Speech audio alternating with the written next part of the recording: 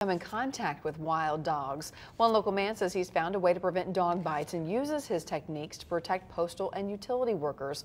But the tips can work for you as well. TV5's Eric Horn has those details all new at 6.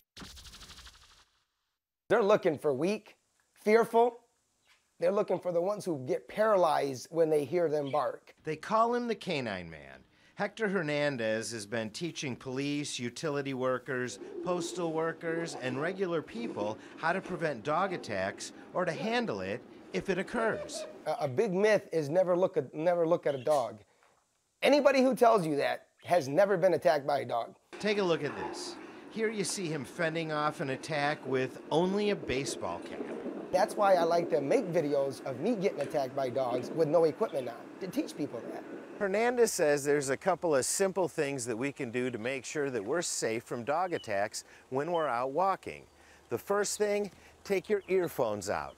That way you don't have any distractions. And he says that most people already have a weapon in their hand and don't even realize it. Their walking stick. You can use it to swing back and forth to keep the animals off you. And he says that if you're lucky enough to injure one of the animals, your chances of survival are greatly increased.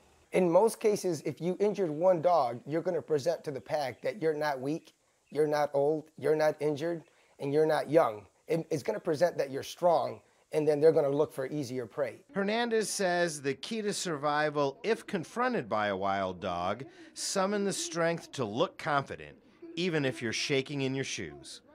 In Saginaw County, Eric Horn, WNEM TV5. For more information on the Canine Man and his program,